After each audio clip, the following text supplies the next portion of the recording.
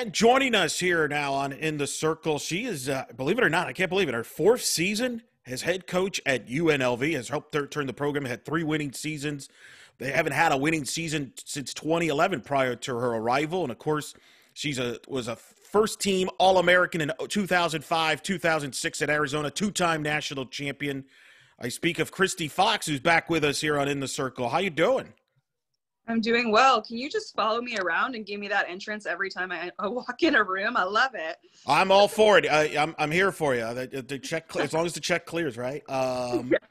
How are you? What's it been like for you? Obviously, in your program with everybody that we're all dealing with.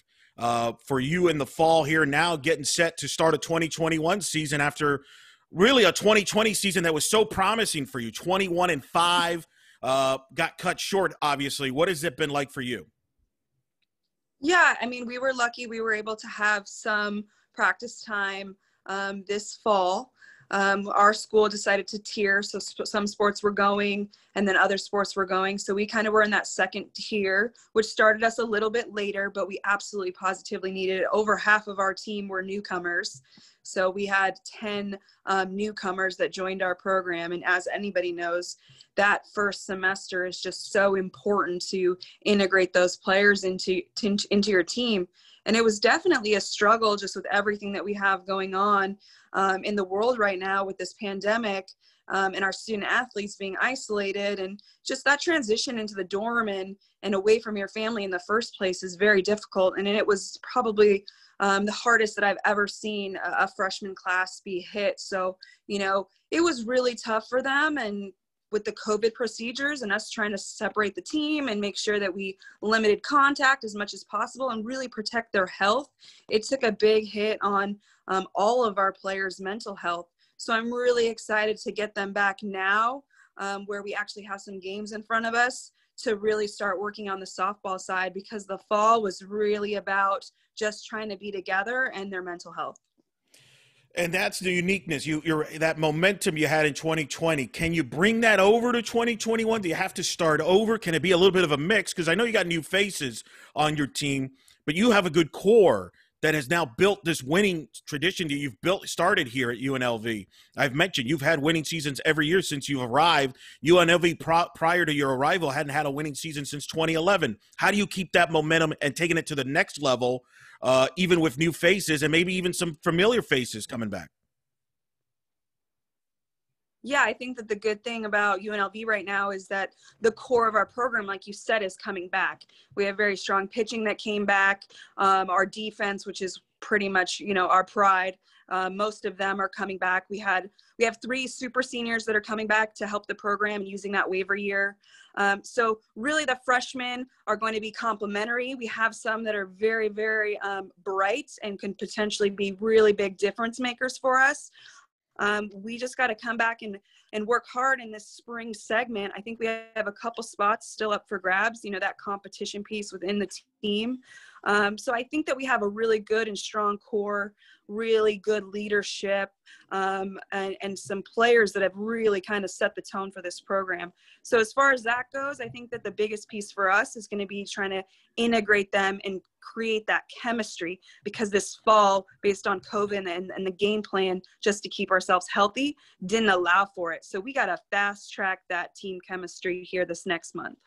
You mentioned your pitching and returning. Jenny Bresler uh, has been your ace. Uh, what has she looked like to you? What has she meant to you?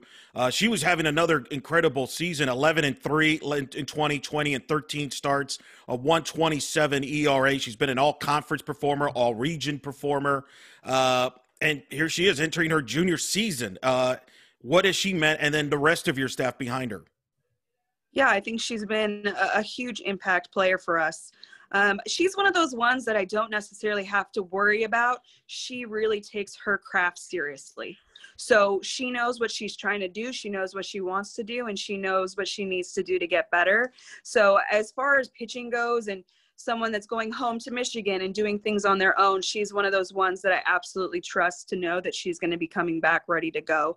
I think the key for her is you continue to face the same people over and over, especially once you get into conference, is how do you become um, deceiving on that second game?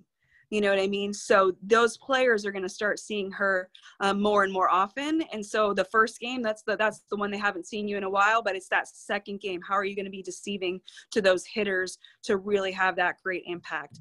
Um, but I know Jenny's working hard, and she's going to come back prepared. And you know we're going to have a good game plan for her.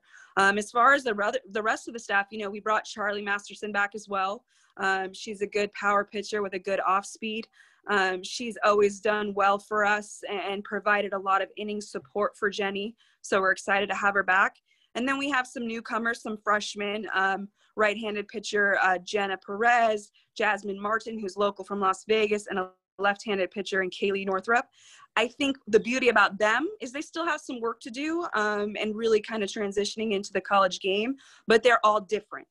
And when you have a staff, you definitely want to have different looks for the hitter. So all three of them are very different. I think the key for them is to help them build confidence early on and making sure as we as a coaching staff put them in situations where they can be successful and be ready to uh, make a change or make a move at the right time you know jenny's one of those ones where she every once in a while is going to get herself in trouble same with charlie and we're going to keep them out there and they're going to need to figure it out um, these freshmen i think we really need to be prepared to make adjustments and you know maybe they're only seeing the hitters two times through the lineup and then we're going to make a change. So I think as a coaching staff, we have a little bit of a challenge in front of us, making sure that we're ready to go on that um, this spring. No doubt, and you know, since you've been arriving there, your pitching staffs has been among the best in the Mountain West. You're below three ERA. I mean, prior to your arrival, I think the last time UNLV as a team had an ERA in the threes or lower was in the 90s, uh, which is kind of wild to think about. What how have you been able to kind of have success in the pitching department? Because everybody that follows the Mountain West, obviously the ball flies um, in a lot of these different places. So it's a very offensive friendly conference, but yet you've had success in pitching. Obviously, talent is a big part of that with Jenny and all this, the arms you've had. But what, how have you been able to be successful and, and adapt there from a pitching standpoint? Yeah, I mean, we've had two great uh, pitching coaches since I've been here T- Tina Andriana, who's now a head coach, and then Emily Vincent. I think that they do a really good job. They connected with our players, right? And instead of trying to have a cookie cutter program in our pitching staff, we really try to get them to be the best version of themselves. How are you going to be the best? We're going to take your strengths and get them better and help you with your weaknesses, but we're not going to change what you've been doing your entire life.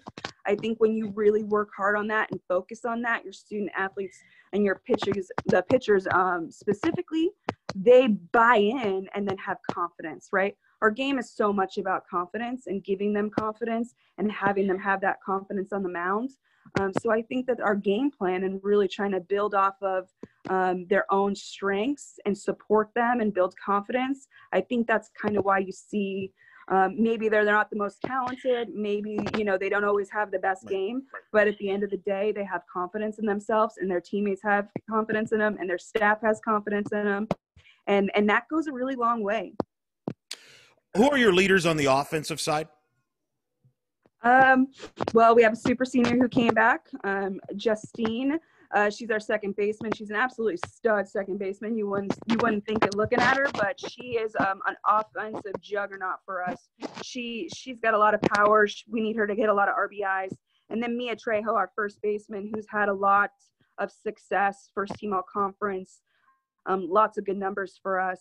Um, she's another one. We really need her to produce and and have a good year. Those two have always kind of done really well. They're definitely the leaders offensively. We added some speed. The Mountain West really didn't get to see it because we didn't play them, but we have a freshman um, left-handed slapper who I guess we're going to call a sophomore this year. Um, our left fielder Maddie she she did a great job offensively for us and we have a super senior our center fielder um, lt who came from junior college um, she's going into her third season based on the super senior, and she had a really great year as well. So we have a good balance of some speed and some power. Um, we have a couple people who I think are just kind of on the brink of really finding themselves at the plate. In our, our shortstop, Sam Diaz, I think if she has a good, strong offensive year, that's going to be really big for us as well. So um, offensively, you know, we have a good balance to try to manufacture some. We don't have to just live on the home run um, you know, steal some bases, put ourselves in some good situations, hit and run, try to make some things happen. You know, when you're playing the same team over and over again, sometimes you got to do that.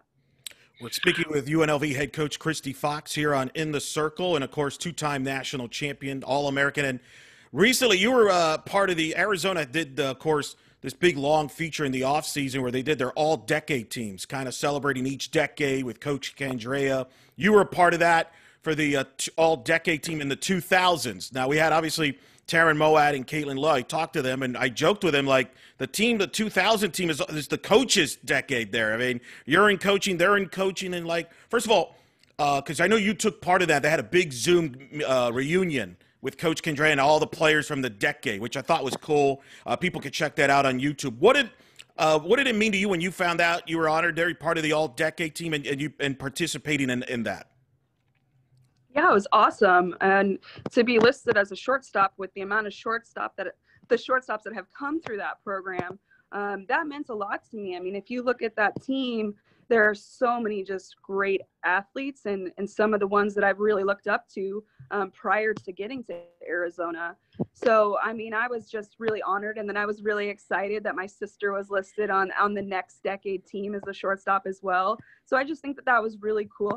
I love how Arizona really incorporates their tradition and they always go back to the people that came before them. I think that the effort they make and that Coach Candrea makes and, and their SID makes to, um, you know, show the people that came before and really educate the players there um, about those girls and about the legacy and about the previous national championship teams. I just think that that's something really special that Arizona does a really great job on. What was it like reu- reuniting with? I don't know how many of the, the players on the decade did you know? Obviously, you played with many of them, including Taryne and Caitlin, part of those national championship teams. But I'm sure there were some there that you got to meet a little bit. What was that like to be part of that reunion there? And then have you been trash talking with your sister uh, as far as who's got the better all decade team? Me and my sister always trash talk, but we don't trash talk about the other players as much as we trash talk about who was a better Smart. player and who was a better shortstop. So we always do that. Um, you know what? I played with, I would say, about 90% of that team um, that's listed there, whether they were a little older or a little younger than me. And then all the other girls I've known. I think that, you know, the alumni always came back and supported us and would visit and introduce themselves. And so all of those players, I mean, I knew every single one of them um, when we were on that Zoom. And I think that that's something that's special with Arizona is just how they make across the board people connect. Um, so yeah, I knew all of them. It was such a fun time. I think as I get older, I get more and more comfortable teasing Coach Candrea. Um, and as you can see, I'm a coach and I still call him Coach Candrea, you know? So I don't think I'm ever going to get to the point where I'm going to be like, hey, Mike, how's things going? So I, I get more and more comfortable as I get older, kind of jabbing them a little bit and, and, and doing some jokes, which you can see if you go and look at that YouTube of that. Yeah, what that was so amazing, and you could tell the big smile on his face. Uh, it was. Uh, I would imagine how big of an influence he's had on your coaching style and career. Because I asked, you know, Caitlin talked about that she has a lot of Coach Candrea in her and her style of coaching and things like that. And uh, uh, how much of that did you pick up during your playing days from Mike that you, you apply to your even today? Yeah, I think that um, he was so special in the fact that he let each of us be ourselves. Um, at Arizona, we got to be ourselves, and he just tried to make us the best version of ourselves and, and help us get better and build confidence in, in us. And I think those are the two biggest keys as I kind of head into my further into my own coaching career was this the investment that he made in each and every one of us you know, if you watch that Zoom and see, there's a relationship that he has that's different with every single player. But it, it's a relationship. It's not just a relationship with a team.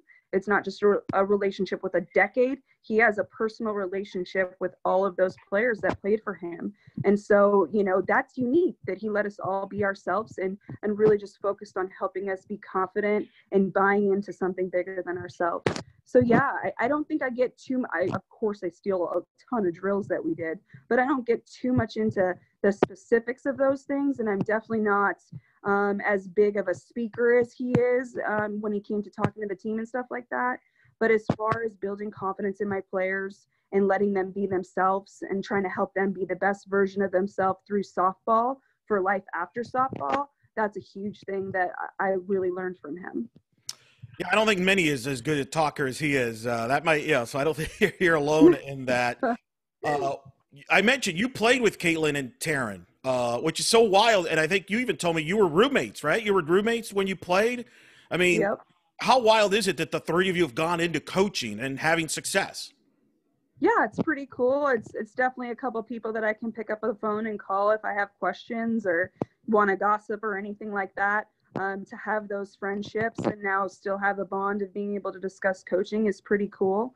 Um, and then for them to be doing it for our, our alma mater is it's just amazing. Yeah, we all lived together. Um, Taryne's sophomore year and Caitlin and I's junior year, and that was good times. That's a pretty fun. I don't even want to get into that because, like, you know, we got we got our own student athletes now and we really just kind of got to go you know do as we uh, say not as we necessarily did except for when it comes to winning national championships. You guys can do that. Um, but you know it was a fun time. Uh, i think it shows just you know the kind of personalities that turn kind of cling together right? We kind of all had the same passion and, and we connected through it even when we were players and we didn't necessarily know we were going to become coaches um, we all really were students of the game. And I think that that's why we had so much success.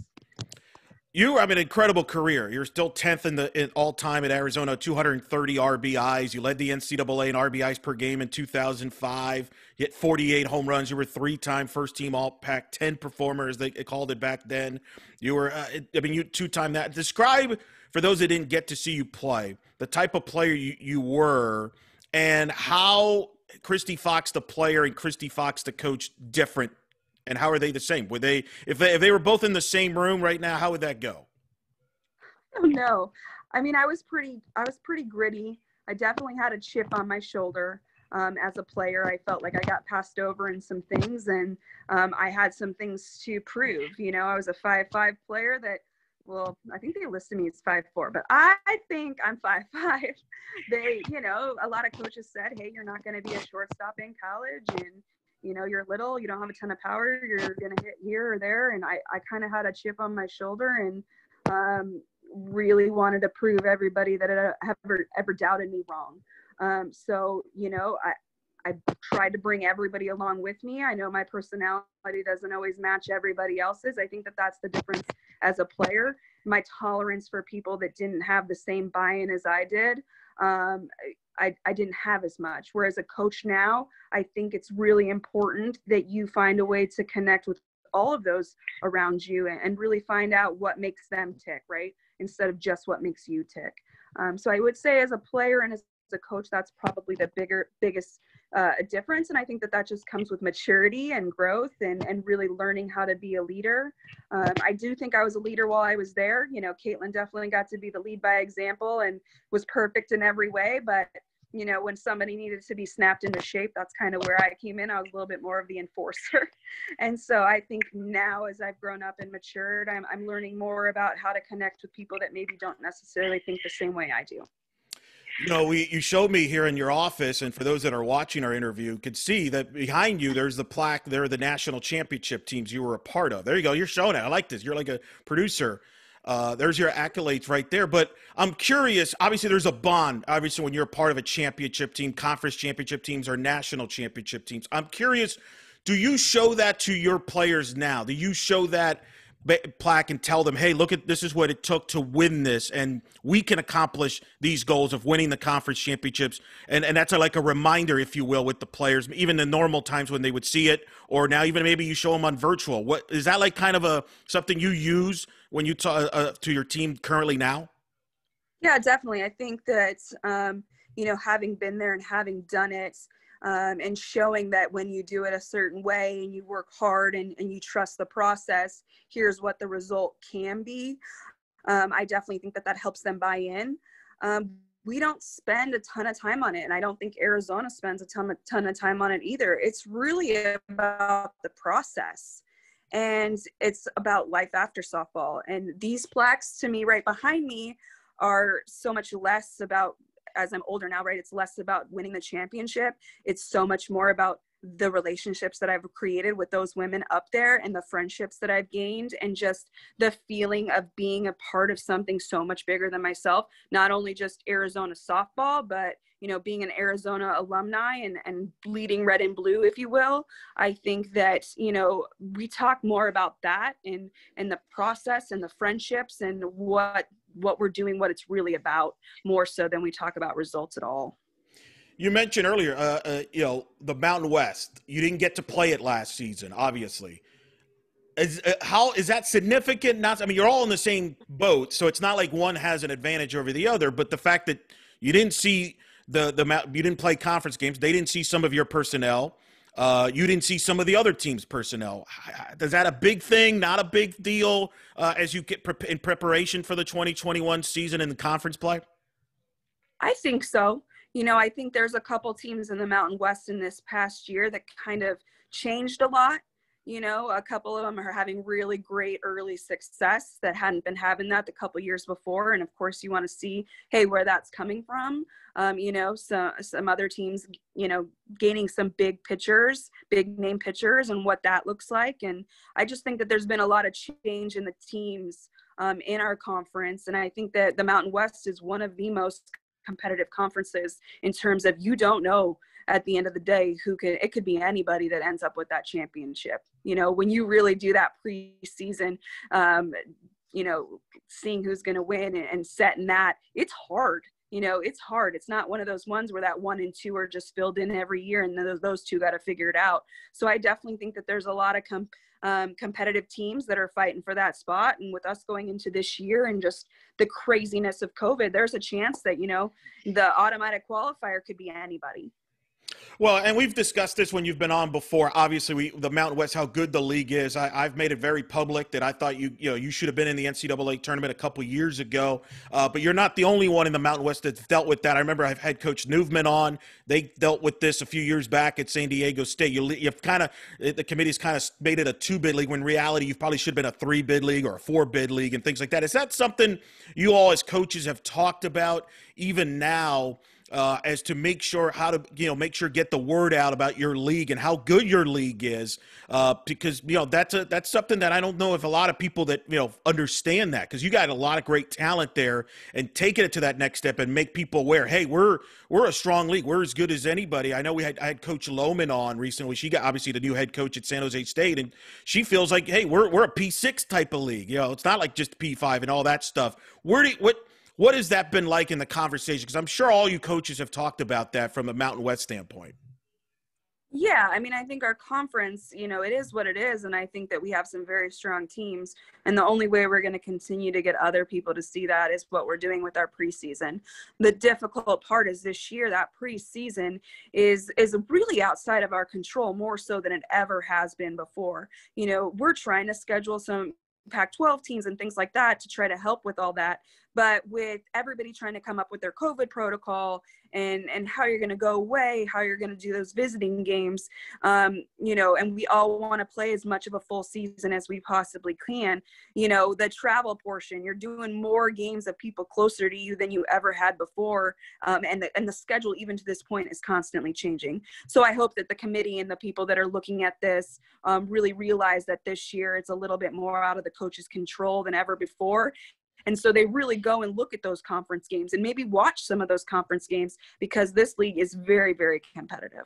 Agreed 100%. I test and, and watch the games and, and you know observe talent. There's talent in this league. What what else is, what stands out to you this year in the league? Obviously Fresno is good. Uh, they had a great year. They're having a great season last year. Boise State's been an NCAA tournament team in the last couple years there. Uh, San Jose State's always been a tight contender. I mean, what, what's your overall thoughts on the league as a whole in 2021?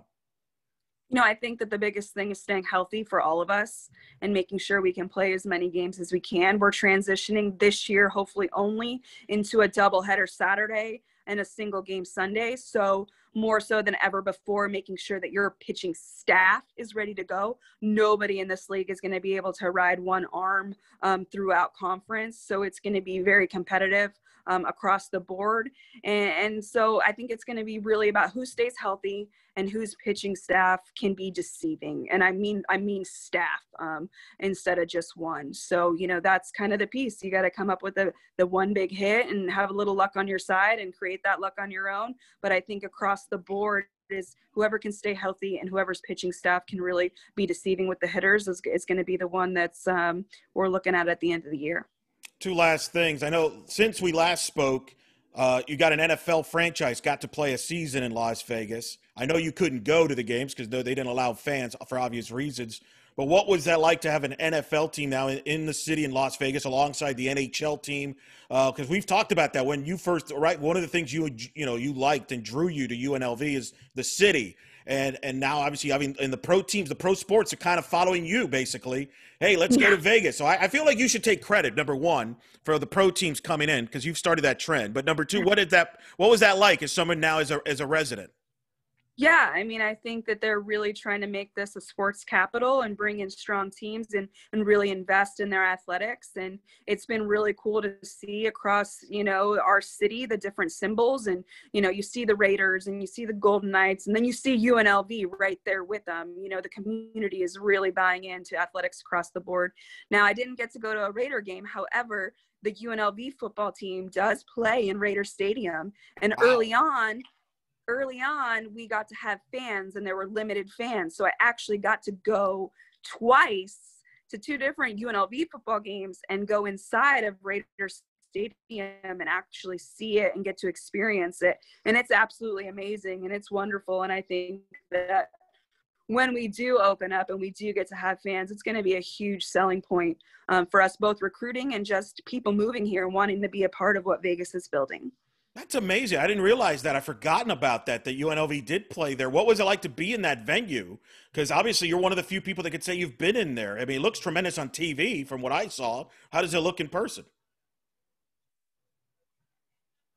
It's so sleek it's clean it's very um, technology based everywhere you go. You know obviously every single thing wasn't open because we only had very limited fans but from what i saw it was a first class production um, from the security to the support to the parking. It's just everybody has really raised the bar when it comes to just um, serving the community. It, it's awesome all right. Well, I remember you invited me to come up to Vegas when uh, you first came on the podcast. I still hope that offer still stands. So when we ever get back to kind of normal, I pick you up on that. And now you're gonna have to hook me up to Raider games or something. I don't know.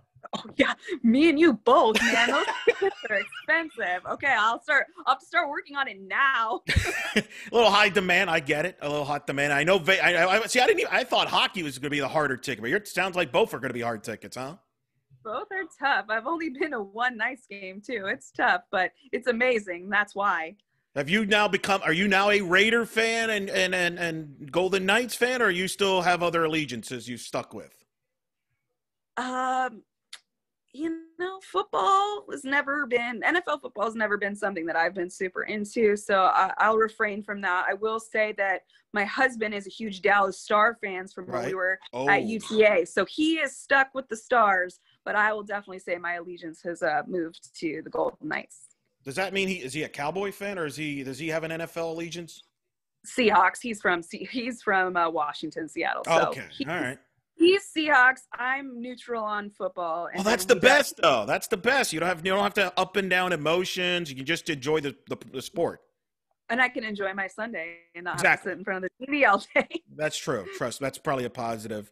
Uh, last thing before I let you go. Obviously, once you step on the field, as far as things you can control, what's going to be the keys for your team to accomplish all the internal goals you'll have?